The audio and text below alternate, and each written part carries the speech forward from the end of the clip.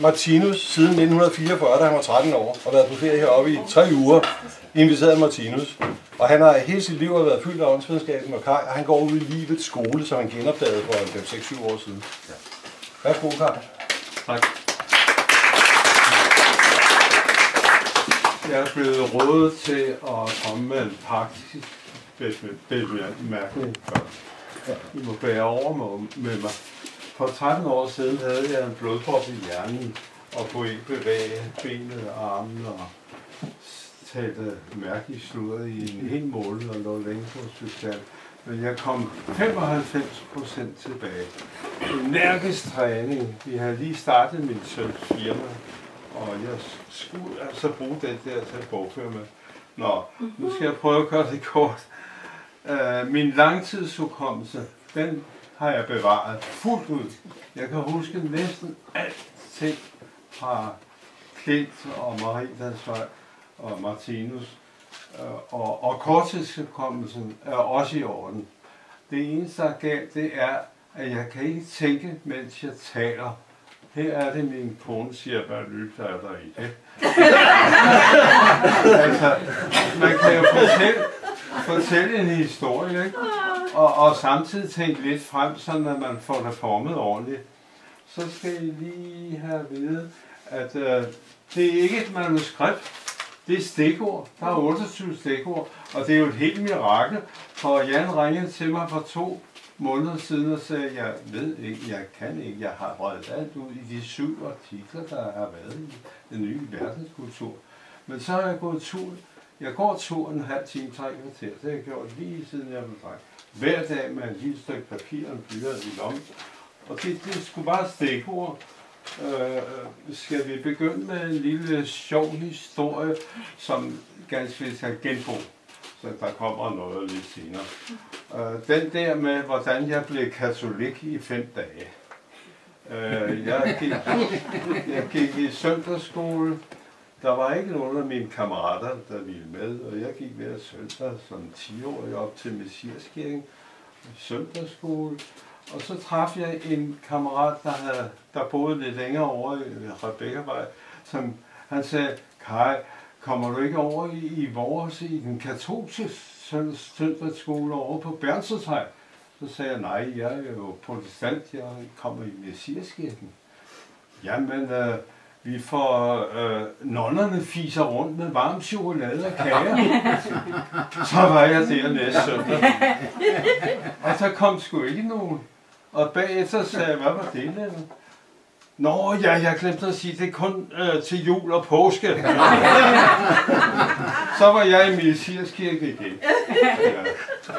Ja. Det var den, den... Det var en rigtig reklamepøl, det der. Ja. Nå ja, det er meget væsentligt med Martinus, det er, at jeg var tre-fire gange hos ham at når jeg havde problemer, jeg havde en kone på 24 år, der døde, og jeg ringede, så ringede jeg til ham og sagde, kom, kom ind til mig i aften. Og det gjorde han hver gang, tre-fire gange. Så døde min mor, hun blev heller ikke så gammel, nogle år efter, og så var det ind, og, og jeg tænkte, at jeg var lidt nervøs første gang, men lige så snart man kommer ind i stuen, så falder man fuldstændig til hans charme, og der var noget et eller andet psykisk, fordi de færreste lidelser med det der, selvom jeg kendte Martinus og alt, hvad han har sagt, de der dødsfald og sådan noget, så sludede, snakkede, og han sad på kanten, at han var måske 60 år dengang, på kanten og stod hele aftenen, og det, det kunne bare tre timer og sådan noget. Og, og så gik jeg der hjem, øh, hjem derfra meget øh, i god, øh, ikke kureret for min sorg, men jeg blev belært om. For eksempel stod jeg ved min kones grav. Jeg blev hver dag meget ked af. Så jeg skulle cykle op til banken i Søborg. Så kørte jeg en stor omvej for ikke lige at køre forbi Hellerup Kirkegård. Men så det råd, jeg fik, du skal stå foran hendes grav og være taknemmelig for, at du netop fik hende i de syv år. Og, og, som, og det er ligesom din mor også, altså være glad og taknemmelig og rette en bøn til Gud. Og, og det, det, var, det var jeg kom et ordentligt skridt videre hver gang.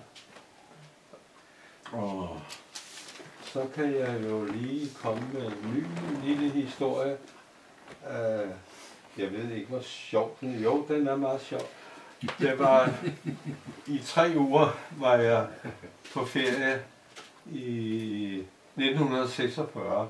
Jeg var 15 år og blev inviteret på en tre ugers ferie øh, hos, i, på Villa Rosenberg. Og jeg havde gået på børneholdet først. Det var det meste øh, de ansattes børn, og jeg kom også med der 10-12 stykker et par år. Og så pludselig Martinus og Kaller Larsen sagde, kunne du tænke dig at komme til Klint der i sommer? Øh, ja, ja.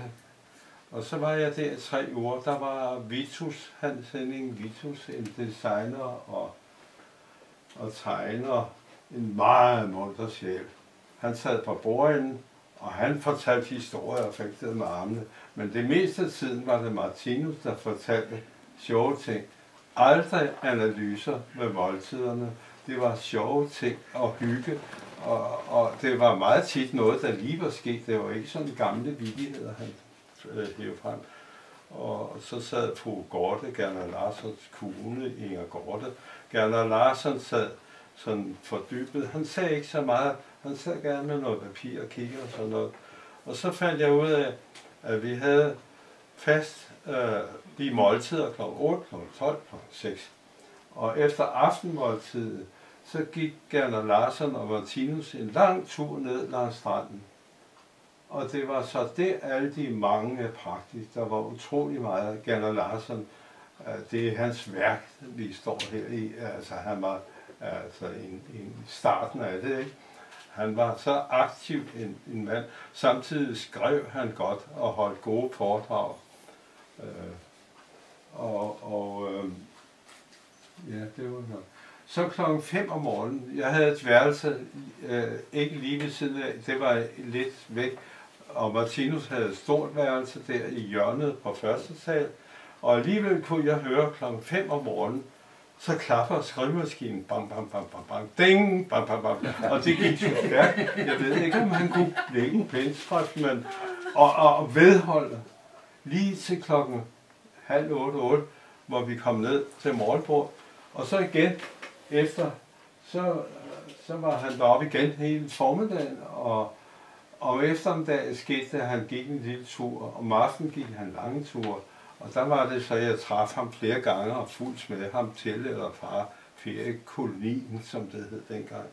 Og han gik altid langsomt, når vi gik af stranden, og hurtigt, når, vi, når han, han ville gå en anden vej. Så var, så var travlt. Så han havde den helt rigtige fysiske motion, altså det, det der med at gå hver dag, og gå hurtigt og gå langsomt, det, det gjorde han. Det så jeg. Og når vi gik ved stranden, så gik vi jo og snakkede sammen. Og der, der var en mand, der løb inde på en mark lige af hans nabo og fangede sommerfugle. Øh, og så sagde han, ja, jeg har selv en samling derhjemme. Så tænkte jeg, det kan da, det vil ikke passe. Sommerfugle. Så kom, vi, så kom jeg op, så viste han mig en masse fotografier, han havde i af sommerfugle. Øh, hvad var det så? Nå ja, så var det øh, underholdning hver lørdag, som der vel også er nu, ikke? Der var, der var en indiens far, som var ret, ret berømt herhjemme, der var oppe og fortælle noget om Indien. Og øh, Martinus og jeg og Vitus og skuespilleren Preben Ulebjerg han, han øh, var meget kendt dengang, som øh, nogen husker ham jo, af de ældre i hvert fald, mm. Preben Ulebjerg. Han var nøjagtigt 15 år, ligesom mig selv. Og vi sad over i Vitus, over i Nexet, øh, Annexet, og, og, og, og havde det mægtigt sjovt. Han var en rigtig hyggelig og meget formel mand. Han havde en hovedrolle i Drengen Fritz på alléscenen, og var meget omtalt, fordi det var, han gjorde det rigtig godt. Det var noget med en øh, tysk familie, hvor han blev medlem af Hitlerjugend. Og de blev så opfordret, hvis de hørte noget som helst om Hitler og sådan noget. Og han angav sine egne forældre. Det var sådan, det, det var det. Men øh, det var for lige at fortælle Preben Olebjerg, ikke? Øh, vi fire, vi fulgte sad hen, og Martinus havde jo altid sådan en flot, hvid sommerhabit på, og godt humør og den der stof. Og så var vi henne og, og høre denne her Indiens far. Og øh, han, han fortalte mange interessante ting om Indien. Og til slut sagde han, og så synes jeg, at vi alle sammen skal rejse os op og synge der er ingenting, der maner som et flag, der går til tops. Og så kommer der noget meget nationalt i teksten. Og, og så rejste vi os op, og vi kiggede lige, Martinus sad foran på mellemrække, og han rejste sig også op. Og, sådan her. og så kom jeg hjem til fru Gorte, Gerda Larsens kone, og fortalte det der, øh, hvad der ville ske. Rejste han sig også op for det der. Ja, det gjorde han, det der. Nå, så snakkede vi om det henne i kolonien dagen efter, og, og så blev vi enige om, at det var efter det princip, giv Gud, hvad Guds er, og kejseren, hvad kejserens er, og han ville ikke være nogen provokatør eller noget. Det ville kun give noget negativ stemning, ikke? Så det var sådan en sjov lille historie der. Ja, der er så... Nå ja, så er der den med Johnny Weber, som er til stede her i dag. Det var dejligt. Han ringede mig op for nogle få måneder siden og sagde, du Kai, skulle vi ikke mødes ved Martinus øh, gravkammer? Det har vi jo snakket om i gruppen nogle gange, at nogen vi kunne gøre. Så tager jeg øh, to kopper kaffe med og nogle ostemader. Ja, ja, ja, det er det. Helt ærligt. Ja, ja, ja, ja, det vil jeg meget gerne. Og så kom der, for to år siden var der ikke noget i vejen med min ben. Der løb jeg efter bussen. En gang røg jeg lige på skadezonen, fordi jeg knaldede ned i cementen og sådan noget. Men ellers så var benene helt i orden. Og det er de næsten igen. Nu skal I bare høre, det er jo det, vi har markedet. Fordi at, øh, vi mødtes jo til der, og så satte vi os på en bænk og snakkede. Når jeg så fortalte jeg, at jeg plejede at gå, jeg har været 100 gange med det der hos Martinus Gravgaard. Øh, fordi jeg førte regnskab for min søn hver tirsdag i en lang overrække, og så gik jeg den vej hjem og kom hjem. Men øh, så sagde Johnny, jeg fortalte, når jeg, jeg havde svære og svære ved at gå, og, og den dag kunne jeg ikke gå de tre kvarter ud til, til fra hovedbanen og, og ud til Frederiksberg Gamle Kirkegård. Så stoppede jeg på hjørnet. Kan fanden ikke gå? Sørger mig ikke gå mere. Så kom bussen, og så vakkede jeg op i den, og så kom jeg derover, og vi fik den her ostemad, og vi hyggede. Vi sad og snakkede i 10-15 minutter, så fortalte jeg om det der, men det kom lige 5 minutter for til at Så var det, nu siger jeg det først, og Johnny, du er vist gået med til at sige det rigtigt, øh, fordi det, der, pointen var, at jeg skulle koncentrere mig om mine fødder. Det er mest, det, det er næsten følelsesløst, jo længere man kommer ned. Jeg skulle sætte mig ned og koncentrere mig og sende positive og kærlige tanker ned til mine fødder. Og der, det, det gjorde jeg så. Der sad vi lige i fem minutter og kiggede, og solen skældede. Og så mærkede jeg, at musklerne, de faldt ind i benet. Det kan man jo mærke, ligesom at, når man slapper af. Nå, så skinner Så gik vi rundt i fire timer Mm. Og vi gik, og der var ikke noget, og jeg tænkte, er han healer, eller hvad? Men øh, så, og til holdt sig, men jeg er ikke helt kureret, men det, det er lidt svimmelhed, når min kone siger, du går sgu da ikke godt. Nej, det er der den lidt svimmelhed, men ikke så meget. Så jeg kan sagtens gå, jeg går lange ture og hele vejen. Så så Johnny, er du klar til at fortælle? Fordi det er langt. Ved du hvad, jeg vil gerne have- en dag have det på skrift. Det kan vi blive enige om. For det er lidt mere end som så, Johnny. Det var så hyggeligt. Jamen, øh, det er jo selvfølgelig Kai og jeg, vi mødes, øh, og det gør vi faktisk. Øh, at første gang, vi har gjort det, vi skal flere gange endnu, det har vi aftalt, så skal vi jo altså mødes ja. nede ved Martinus. Ikke? Det skal vi.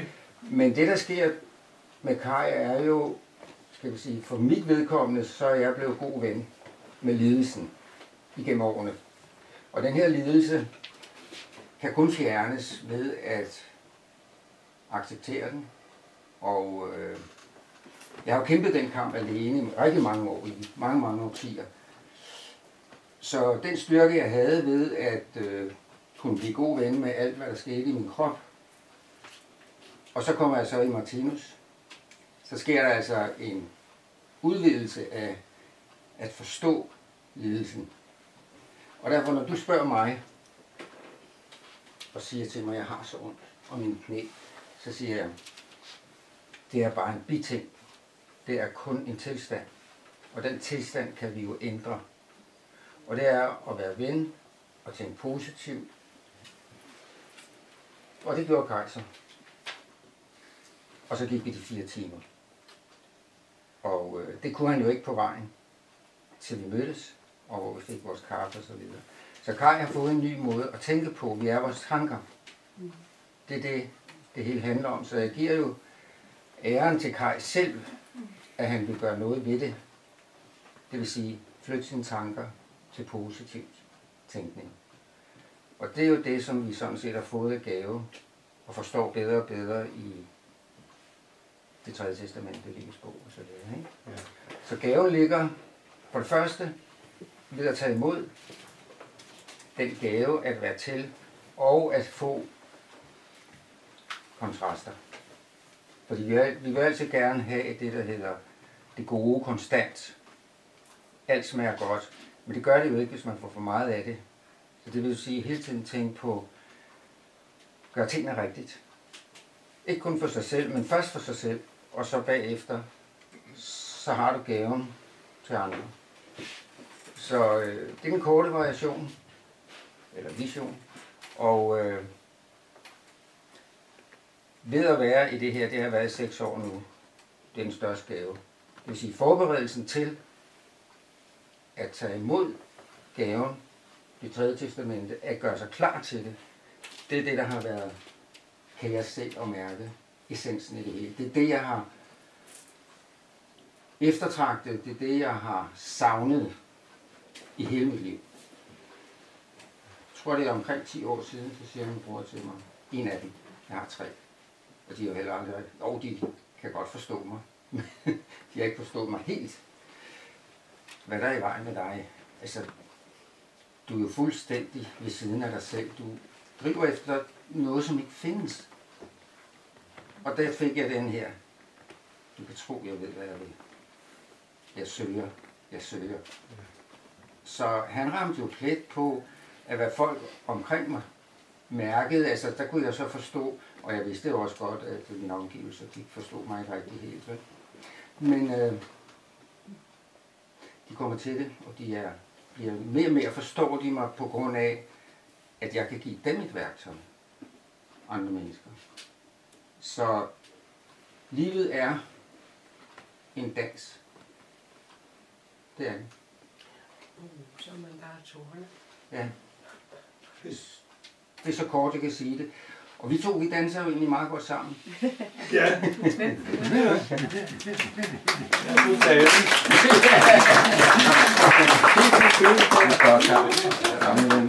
Ja.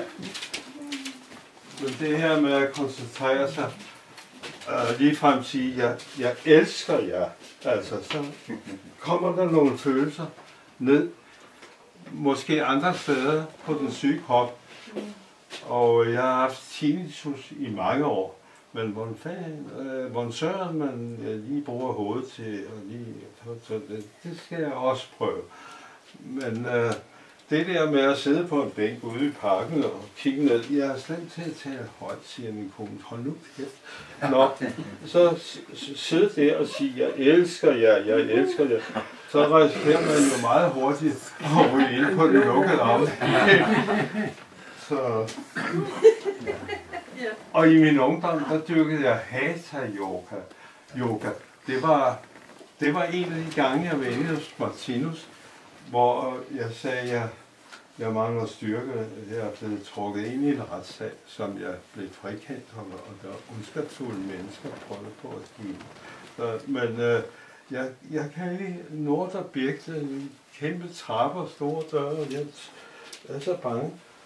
Så siger han, Martinus, den hvide forgiver Louis Brentford, han var meget kendt dengang, og han kunne virkelig nogle ting, at, at, at, at, som at han læste tanker og sådan noget. Han havde bevist, at han var noget. Så ringede jeg til ham. Så sagde han, er du bange for sådan en rolig, dyb stemme? Ring til mig næste gang, du skal til møde.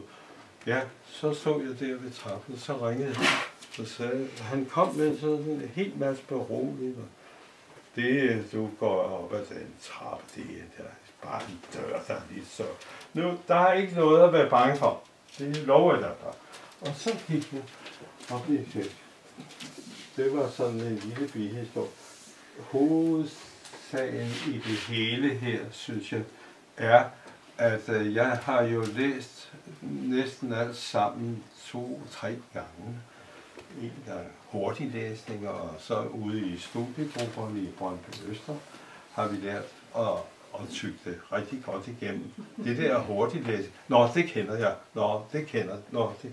Men, men øh, at kigge rigtig på ordene, og, og der har vi, har vi haft så mange gode og sjove diskussioner omkring, så ved, øh, ved hvert møde har vi haft 37 sider for, og så har vi kunnet snakke ind imellem og sådan. Men nu kommer pointen. Hvad var det, det var? Det var hver gang, jeg var inde hos Martino, to af gangene i hvert fald, så føler han mig helt hen til... Nå.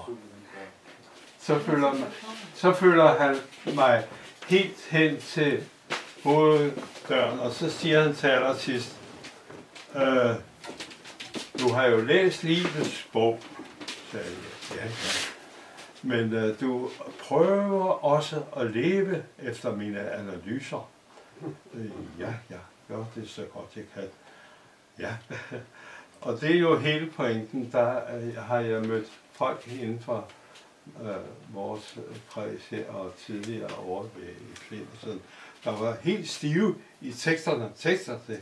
Men øh, han, han sagde, det var også apropos det, Jens Harper sagde før, at, at, at det ikke er nok bare lige at kunne teksterne. Vi skal prøve, rigtig prøve energisk at leve efter dem.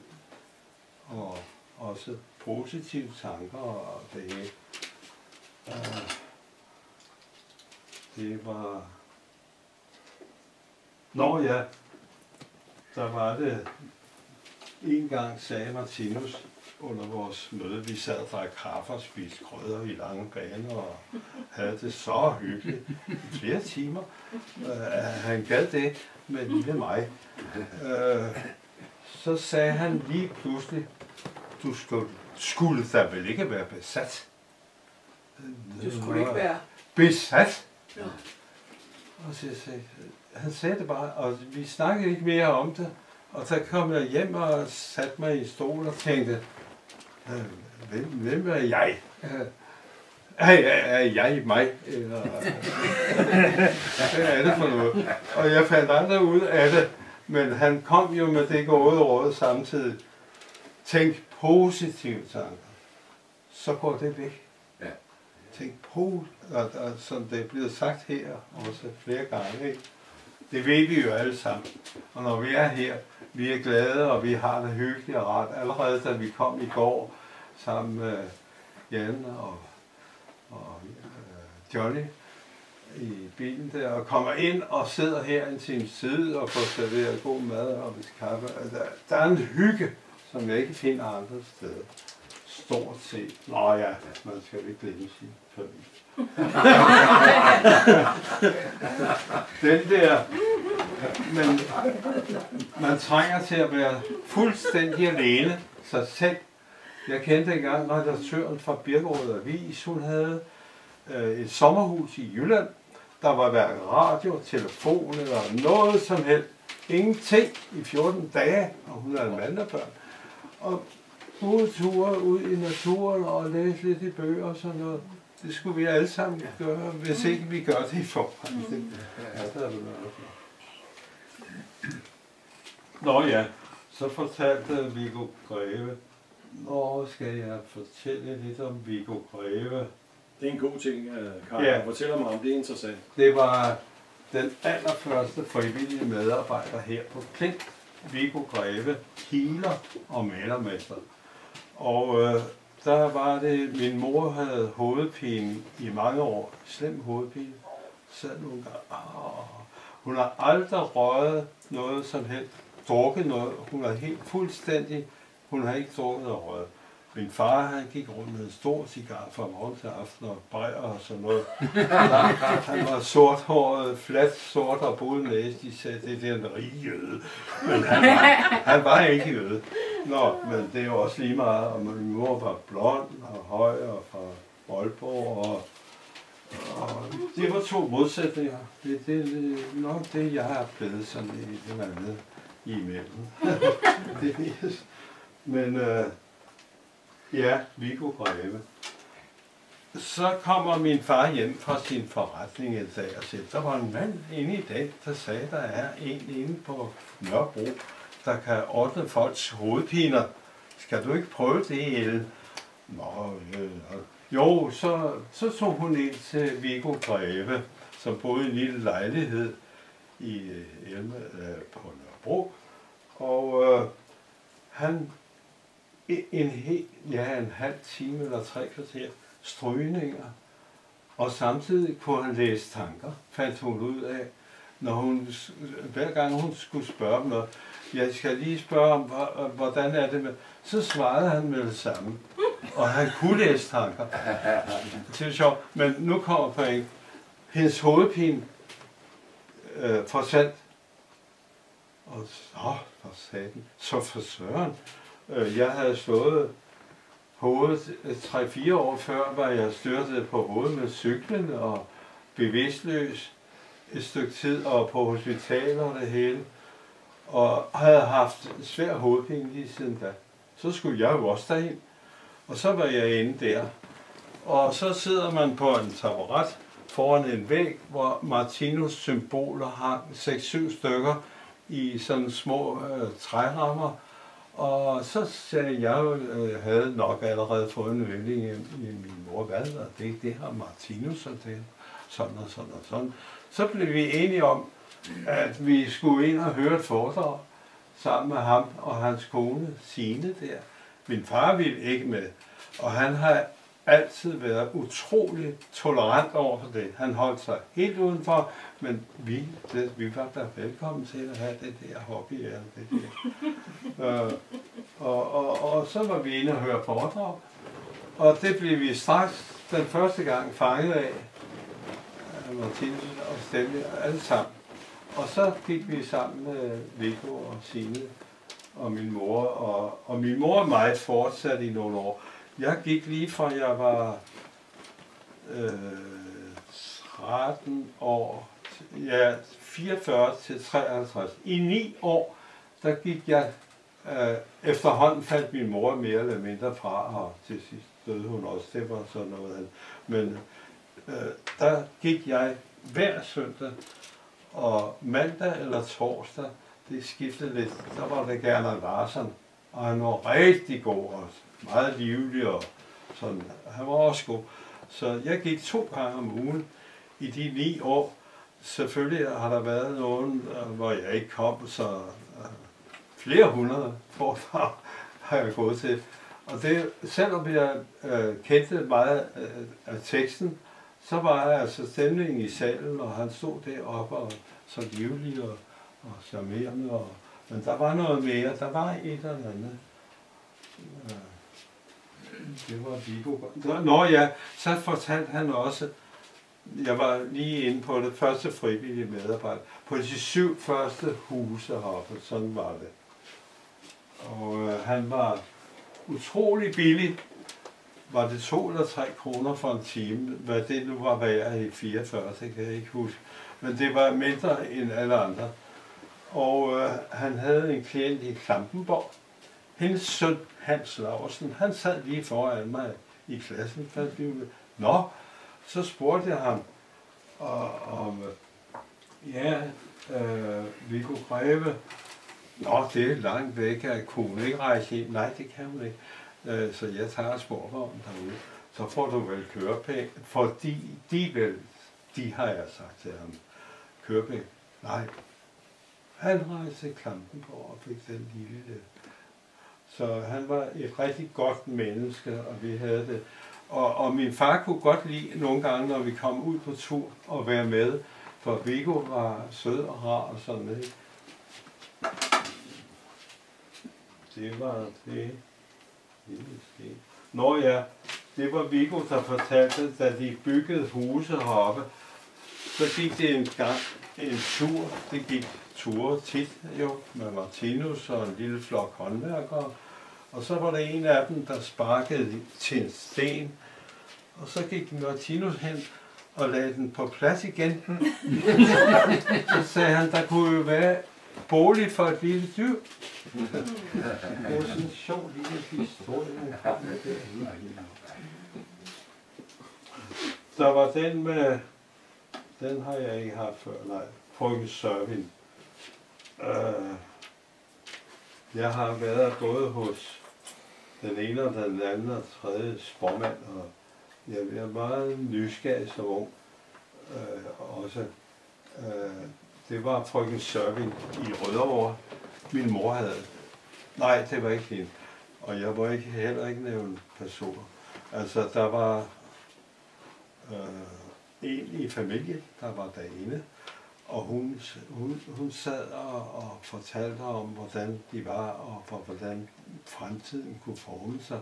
En ung dame, der røg cigaretter hele tiden, og tage en båndoptager med, og så gemte det nogle år, og så prøvede at kigge igen.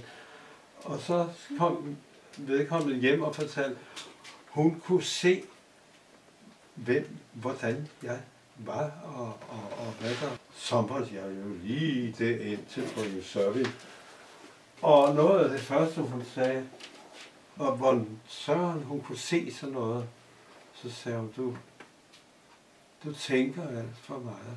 Du skal leve i nuet. Du skal ikke gå og tænke hele tiden. Og der havde jeg det der med at kunne gå igennem et helt skov og gå og tænke. tænke over, tænke.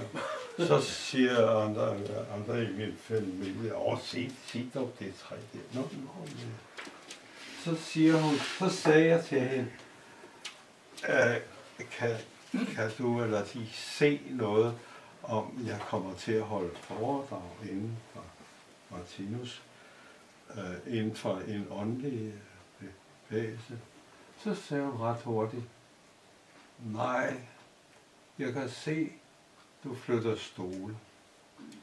Og da jeg så kom tilbage, rendte rundt og flytter stole, kom til livets skole for fem år siden, og så kommer vi ind i kulturhuset, og så går så tiden først med at flytte stole og bord.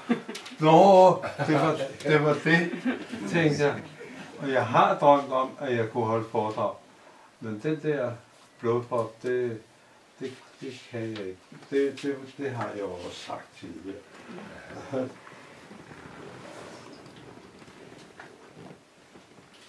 Og Gerner Larsen, Martinus første medarbejder der. Han fortalte mig, at han havde snakket med Paul Reumert og en anden skuespiller, der kom her noget. Og Hakon, Hakon, Hakon Edeling, som var en kendt uh, tryllekunstner og entertainer. Og det ligger lidt uden for programmet, men det var egentlig meget sjovt. Skal vi lige, lige tage den?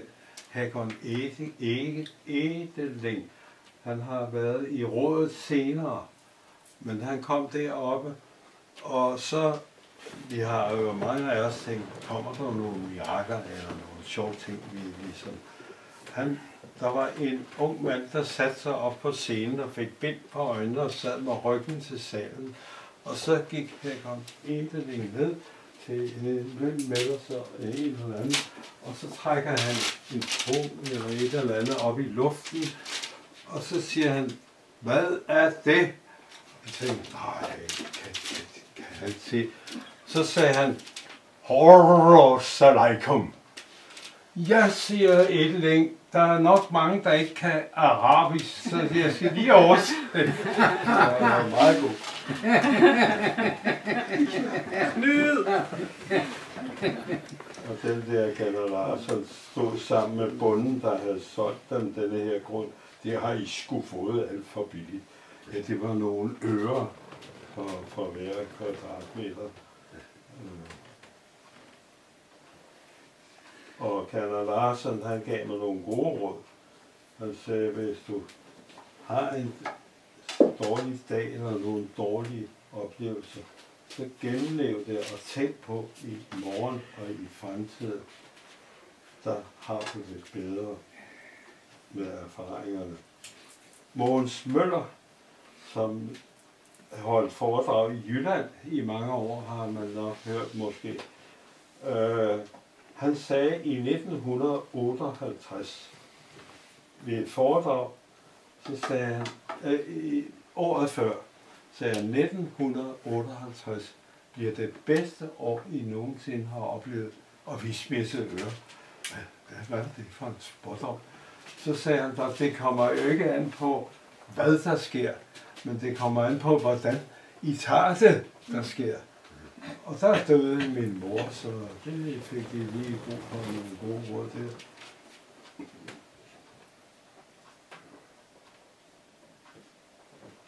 Øh, der var... Når jeg omkring Martinus øh, igen, øh, han kom altid, det kan man jo så også høre den dag i dag på bånd øh, på nettet, øh, at hans foredrag, det kom ligesom om det var velforberedt. Der, der var ingen pauser, der var ikke noget med Ja, lad os se, eller en tænkepause eller noget. Uden tvivl, så kom et hvert svar på et hvert spørgsmål lige med sammen. Og der hørte jeg en aften, eller ja, det var ikke til et foredrag, det kan jeg ikke En, der siger til ham, øh, øh, hvordan øh, med fremtiden øh, er skal det hele oversættes til engelsk eller sådan. Nej, Esperanto, sagde han, det er fremtiden. Det kom sådan hurtigt. Det var han ikke i tvivl om. Og der har jeg meldt mig til at Esperanto-kursus for et par år siden. Uh, men uh, jeg måtte desværre opgive det et halvt års tid efter, fordi der var noget, jeg kunne alle tal og remser og uddag, og så var det noget væk. Jeg havde jo også den skjulte hensigt, at hvis der kom en eller anden mand på 70 eller 75 år, ja, jeg er sgu nok for gammel. Ja, det går i på 89, men uh, det fik jeg desværre ikke gennemført. Men det var rigtig hyggeligt uh, hos Peter.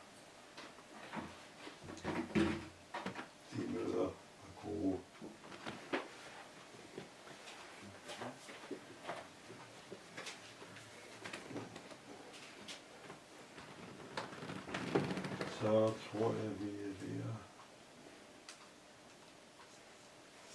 Ja, der var en sjov lille med øh, foredragene i 40'erne der. De begyndte altid med, at, at vi rejste os op, hvor den store mester kom ind der og satte os ned igen. Og det kunne Martinus ikke lide. Øh, så oplevede vi lige pludselig en dag, at tage Buk og de to søstre ude fra bryggeriet og en hel masse andre, de var placeret rundt om i salen. Og så lige da vi skulle til at regne, bliv siddende, bliv siddende, helt vejen over, bliv siddende, bliv siddende. Og den virkede lige fra den dag der. Det skulle sandelig ikke være højtidligt.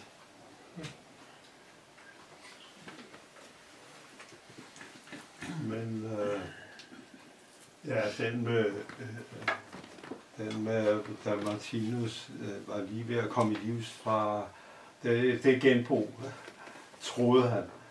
Øh, hans, det var et foredrag, hvor han bemærkede en ældre herre lige foran sig, pæn ældre herre, og under foredraget så tog han hånden ind bag i værken, og ud trak han noget metal. Og Martinus, han nåede at tænke, jeg skal da vel ikke dø nu. Så kom der en mægtig lang hørerør ud.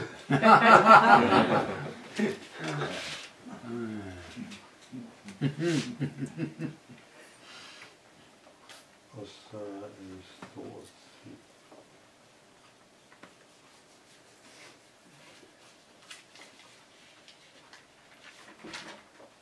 Og mig selv, hvis jeg skal slutte af med en lille vittighed om mig selv, uden at rose mig selv, så, så ude på hospitalet, der har jeg været mange gange i de senere år med mine fire sygdomme.